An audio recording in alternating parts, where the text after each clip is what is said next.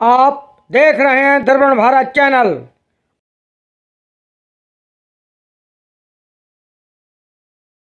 अभी भी मैं ऐसे ही देखती हूँ अपने आप को, जैसे मेरी पहली फ़िल्म में मैं आई थी, राजा की आगे बारात। हमारे देश में रहना और एक हिंदुस्तानी होके, हिंदुस्तान में रहना एक अपने में एक बहुत बड़ी बात। मिसेस चैटर्जी वर्सेस नॉर्वे के थ्रू इतने लोगों की आँखें खुली। तभी ऐसा वातावरण था जहाँ पे सब बोलते थे कि एक कंटेंट फ़िल्म सिर्फ़ ओ टी प्लेटफॉर्म में चल सकती है और बड़े पर्दों पे अभी सारे दर्शकों को एक बड़ी पिक्चर देखनी है। और मिसेस चैटर्जी वर्सेस नॉर्वे ने आके वो भी एक सबको गलत साबित किया। हमारे जो दर्शक हैं जिस तरह से प्यार देते हैं जिस तरह से आपके काम को सराहते हैं वही आपका स्टारडम मेंटेन करके रखते हैं। जस्ट एक दूसरे के साथ वक्त बिताए वही मेरे लिए बहुत ज़रूरी होती है। की शुरुआत हम्म। बड़ी फ़िल्में गुलाम कुछ कुछ होता है हम तुम इतना बड़ा लंबा कैरियर आपका बंटी पब्लिक आज आप अपने को किस जगह पे देखते हैं? अभी भी मैं ऐसे ही देखती हूँ अपने आप को, जैसे मेरी पहली फ़िल्म में मैं आई थी, राजा की आगे बारात। और तभी भी एक फ़िल्म सेट में जाना एक अपने में ही एक बहुत बड़ी बात है। तो एक पिक्चर का बनना, हमारा उस पिक्चर में योगदान करना, आई थिंक वो सबसे बड़ी बात होती है। और उस पर हमारा योगदान देना एज एन आर्टिस्ट उससे भी मुझे बेहद खुशी मिलती है कि मुझे मौका मिला कि मैं एक मैंने किरदार को निभाया किरदार जिसको जिसको मैं बहुत पसंद करती हूँ। तो मैं ऐसा सोचती हूँ कि वो किरदार मैं करूँगी जिसने मुझे इतना प्रेरित किया है तो वो दर्शकों को भी प्रेरित करेगा। तो मेरा सवाल ये था, मैम, जब आपको इतना स्टारडम मिलता है, इतनी सफलता मिलती है, इतने लोगों का प्यार मिलता है तो आपकी ज़िम्मेदारी और बढ़ जाती है। जी। और फिर आपने एकदम एक्सपेरिमेंटल सिनेमा किया हिचकी या वुमेन ओरिएंटेड जो फ़िल्में आपने शुरू की। जी। तो इसके पीछे क्या सोचती है आपको कहीं डर नहीं लगता था कि मेरा स्टारडम ना चला जाए? आप भी आज, भी लोगों को आपकी मर्दानी या हिचकी या चैटर्जी versus नॉर्वे। उसको भी बहुत प्यार दिया दर्शकों जी। जब ये सिनेमा ये वाला सफल होता है तो आपको एज ए कलाकार कितनी खुशी होती है? बहुत ज़्यादा खुशी होती है। क्योंकि तब समझ में आता है कि हमारी जो जनता है हमारी जो ऑडियंस है वो हर तरीके की सिनेमा देखना चाहते हैं। वो वो हर तरीके का कंटेंट देखना चाहते हैं। और अगर हम अच्छा कंटेंट दें इंटरेस्टिंग कंटेंट दें और एक अच्छी कहानी उनके पास लेकर आए तो वो ज़रूर आते हैं फ़िल्म देखने। चटर्जी वर्सेस नॉर्वे को एक साल हो गया। जी। क्या जर्नी रही? कुछ यादें हैं आपकी? कैसा रिस्पांस आपको रहा? उस दौरान काम करते वक्त जब ये पिक्चर की कहानी मुझे सुनाई गई बहुत ही मतलब ऑब्वियस ही बात है मैंने बहुत सारे इंटरव्यूज़ भी दिए हैं ये बोल के कि एक ऐसी कहानी है एक हिंदुस्तानी औरत की जो एक बाहर देश में उन्होंने किन किन कठिनाइयों से लेकर अपने बच्चों बच्चे तक को अ, मतलब गवा दिया। तो जो एक माँ की एक कहानी है एक माँ की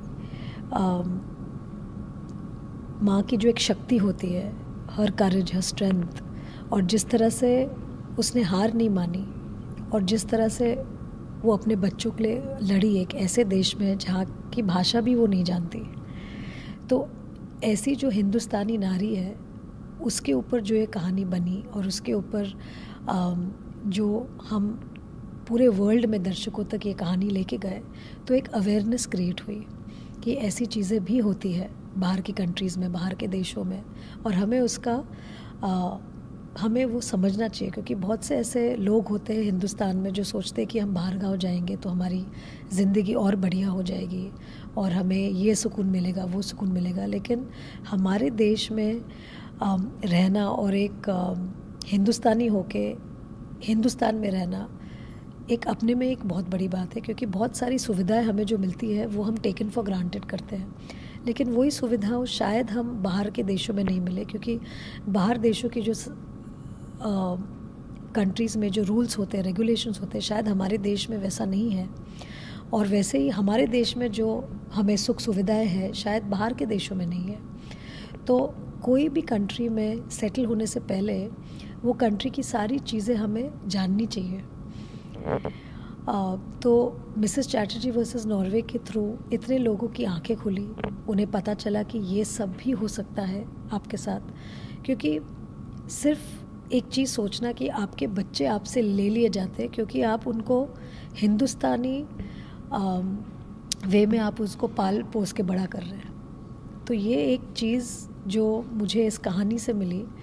अब मुझे लगा कि मुझे किरदार करना चाहिए।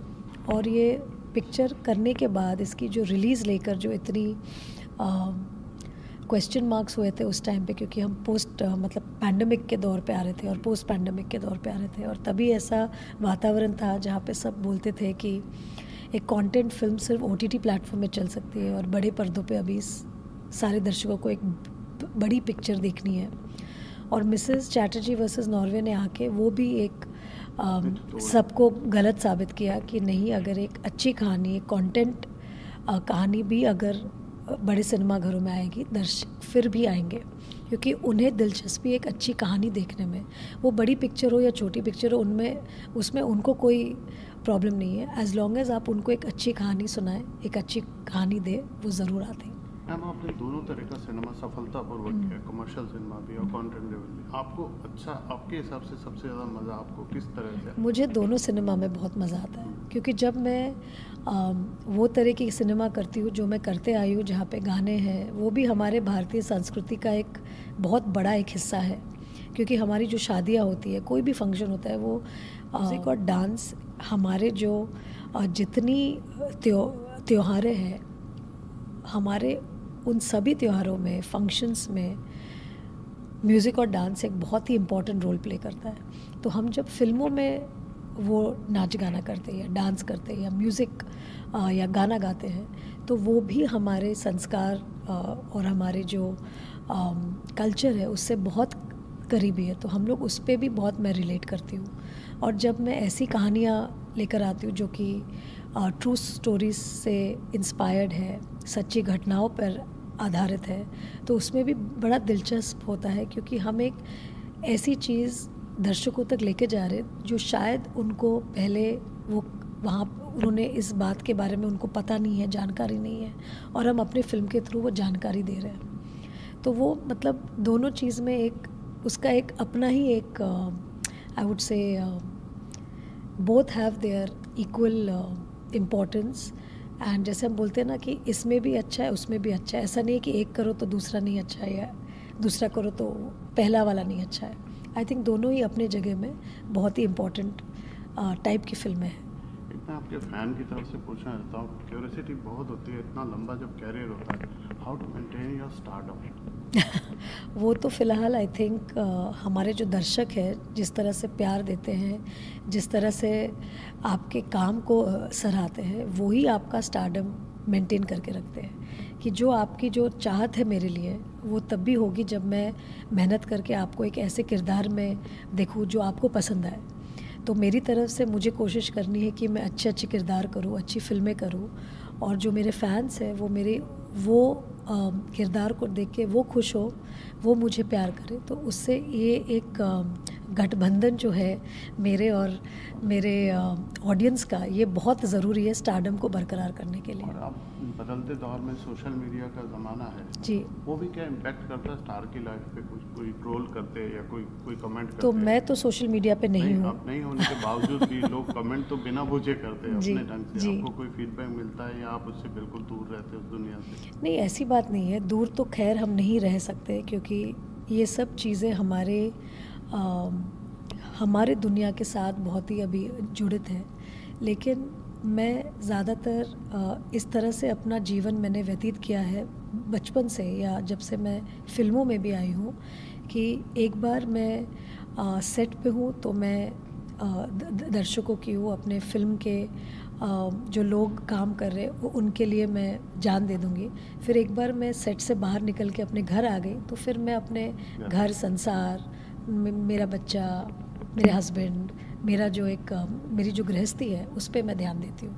तो लास्ट में बस मैं पूछना चाहता हूँ आपका जन्मदिन है जी। क्या तैयारियाँ पता नहीं आ, हर साल अभी मेरे हस्बैंड और मेरी बेटी मुझे सरप्राइज़ देते हैं तो इस साल देखते हैं। क्या सरप्राइज़ मिलने वाला है? मतलब पिछले कोई सरप्राइज़ जो कोई याद आपसे शेयर करना चाहते हैं कोई ऐसा कोई नहीं ऐसा नहीं क्योंकि मेरे लिए सबसे ज़्यादा ज़रूरी और अच्छी चीज़ ये होती है कि जन्मदिन के दिन मेरे जो करीबी दोस्त हैं मेरे जो परिवार के लोग हैं मेरे हस्बैंड मेरी बेटी वो सब साथ में मिलकर हम लोग एक साथ एक एक साथ आए साथ में खाना खाए थोड़ा थोड़ा हँसी मज़ाक करे और जस्ट एक दूसरे के साथ वक्त बिताए वही मेरे लिए बहुत ज़रूरी होती है। कोई अच्छा मैसेज आप अपने फैंस को भी देना चाहते हैं? बस मैं यही मैसेज देना चाहती हूँ कि प्लीज़ आप लोग अच्छा अच्छे रहिए सुस्त रहिए। अ, अच्छे सेहत में रहिए क्योंकि सबसे ज़्यादा ज़रूरी हमारी जो पोस्ट पैंडमिक वर्ल्ड में अ, सबसे ज़्यादा ज़रूरी हमारी सेहत है। और हम जितना अपना सेहत का ध्यान रखेंगे उतना ही हम ये ज़िंदगी एंजॉय कर पाएँगे। तो मेरी सबसे यही विनती रहती है मेरे परिवार के लोगों में भी और सब में कि अपना सेहत का ध्यान रखिए। थैंक यू मैम ऐसे ही आप यश रहिए। जी। हमसे बात करने के लिए बहुत शुक्रिया। थैंक यू थैंक यू दर्शकों से अनुरोध है कि दर्पण भारत चैनल को सब्सक्राइब करें लाइक करें शेयर करें और लोगों तक पहुंचाएँ। धन्यवाद।